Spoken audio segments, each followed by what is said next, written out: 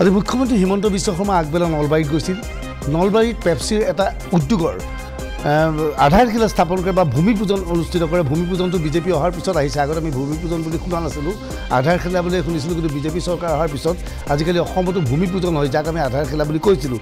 যি কি নহওক এই ভূমি পূজন অনুষ্ঠানত অংশগ্ৰহণ কৰি পেপচিয়ে এই উদ্যোগ স্থাপন কৰাৰ ফলত অসম যথেষ্ট লাভান্বিত হ'ব বুলি মন্তব্য কৰে মুখ্যমন্ত্ৰী ডক্টৰ হিমন্ত বিশ্ব শৰ্মাই।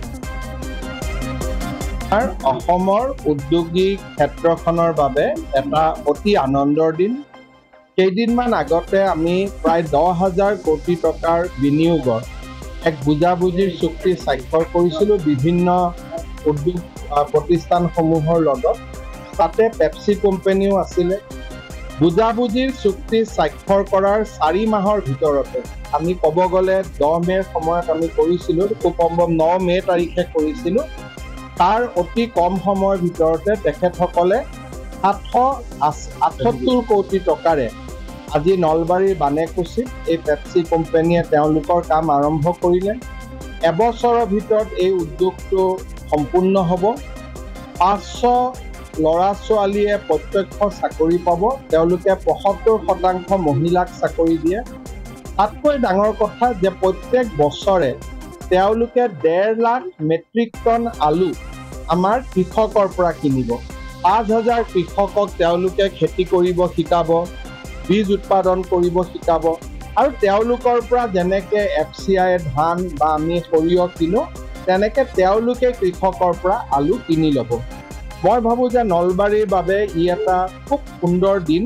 বহু দিনৰ পৰা এটা ধাৰণা আছিল যে নলবাৰীত উদ্যোগ নাই বা নলবাৰীত বিকাশটো আমি আন জিলাৰ দৰে হোৱা নাই। উজনি অসমতহে উদ্যোগ আছে নামনি অসমত উদ্যোগ নাই।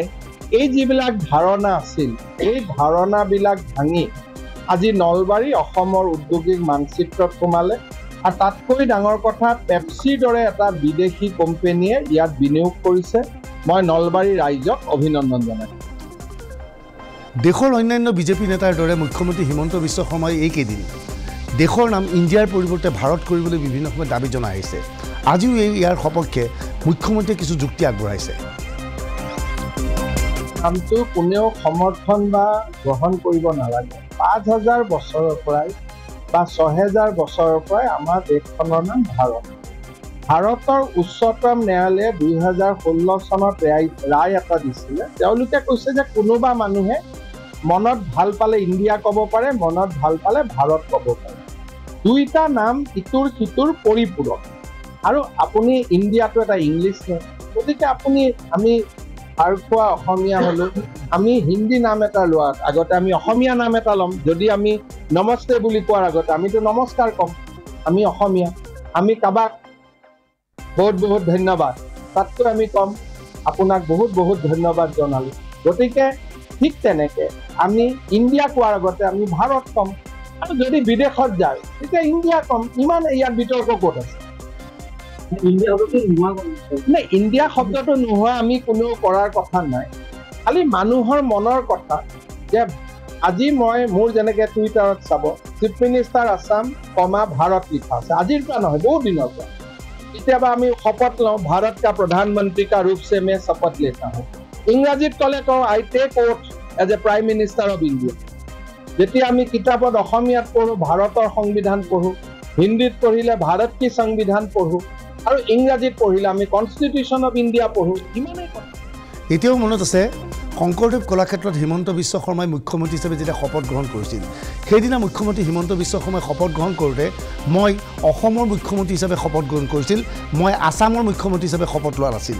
গতিকে মুখ্যমন্ত্ৰীক আমি অনুৰোধ জনাব বিচাৰিছোঁ ভাৰত নামটো ইণ্ডিয়াৰ পৰা ভাৰত সলনি কৰাৰ পৰিৱৰ্তে প্ৰথমে আছামৰ নামটো অসম কৰি লওক না সেইটো বেছি ভাল কথা হ'ব। যে অসম কেবিনেটৰ বৈঠক আছে পৰহিলৈ কেবিনেটৰ বৈঠকত সিদ্ধান্ত লওক বিধানসভাত এখন অধিৱেশনৰ আয়োজন কৰক কওক যে যিহেতু আপুনি বাৰে বাৰে কৈছে ইণ্ডিয়াটো ব্ৰিটিছে দিয়া নাম আছামটোও ব্ৰিটিছে দিয়া নাম। গতিকে কেন্দ্ৰীয় চৰকাৰৰ সিদ্ধান্ত সৰ্ব ভাৰতীয় পৰ্যায়ত এইবোৰ কামত আমি জড়িত হোৱাতকৈ প্ৰাৰম্ভিক পৰ্যায়ত উদাহৰণ দাঙি ধৰক যে অসম বিধানসভাত এটা প্ৰস্তাৱ লওক যে অসমত ইংৰাজীত এতিয়াৰ পৰা আছাম নামটো লিখা নহ'ব লিখা হ'ব অসম অসম মন্ত্ৰীসভা। এছেম্বলি নাম অসম এছেম্বলি আছাম এছেম্বলি নহয়। মিনিষ্ট্ৰী অফ অসম বুলি লিখা লগক মুখ্যমন্ত্ৰী হিমন্ত বিশ্ব শৰ্মাৰ টুইটাৰ একাউণ্টছত চিফ মিনিষ্টাৰ আছাম বেকেট কিনাৰত ভাৰত লিখা আছে গতিকে চিফ মিনিষ্টাৰ আছাম কিয় লিখা আছে শুদ্ধ কৰি চিফ মিনিষ্টাৰ অসম নকৰে কিয়? সেইটো বেছি প্ৰয়োজনীয়তা আছে বুলি আমি ভাবোঁ। যে এয়া সহজ কথা। মুখ্যমন্ত্ৰীয়ে যিহেতু ব্ৰিটিছে দিয়া নামৰ বিৰুদ্ধা কৰি বিৰুদ্ধাচৰণ কৰিছে গতিকে ব্ৰিটিছে আছাম নাম দিছিল।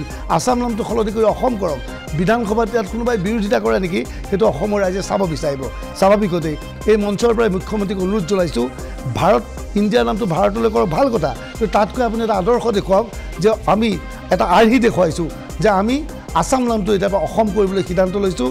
অসম মন্ত্ৰীসভা বুলি লিখক আৰু সকলো টোকা অসম সচিবালয় বুলি লিখক আছাম ছেক্ৰেটেৰিয়েট বুলি নিলিখিব।